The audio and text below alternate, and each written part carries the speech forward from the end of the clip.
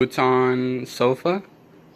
Um, it says Dream Convertibles. It didn't say that on the actual purchase, but I'm going to open it and show you guys. So I took it out of the box. It was covered in that. And I'm going to put on the legs. Sofa, because there's like a secret pouch in the back. You open it and there's a hardware. I'm assuming the legs also. Alright guys, so here I have the bed. I have quite a mess, so ignore that. I knew it was going to be pretty short. Um, We'll get a measuring device right now and show you. But there are the legs. I like that it's Serta.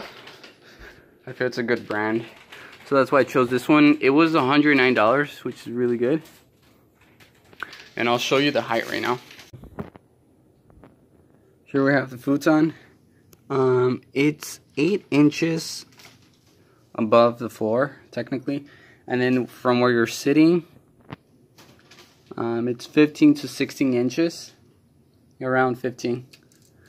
And then you can get the other um, stats or in regards to the measurements on the description. I'll put a link also on where you can purchase it.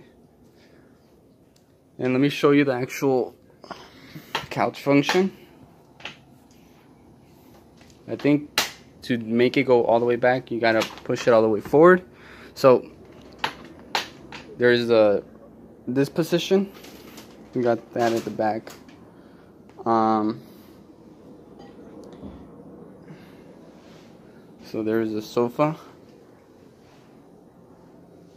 We have a studio so it's a good size. It's let me sit on it.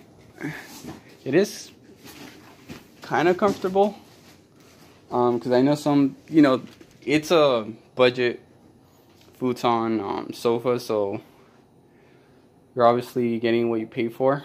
Um, but it, it's definitely not bad.